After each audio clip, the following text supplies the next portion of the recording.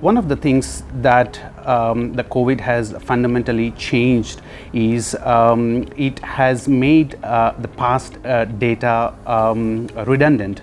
Uh, some of the most um, important uh, mm, changes in the post-COVID world is uh, we need to be uh, looking at the forward-looking data and the forward demand for us to be able to react quickly um, and capture market share. I think that is one area where hotels need to be investing in.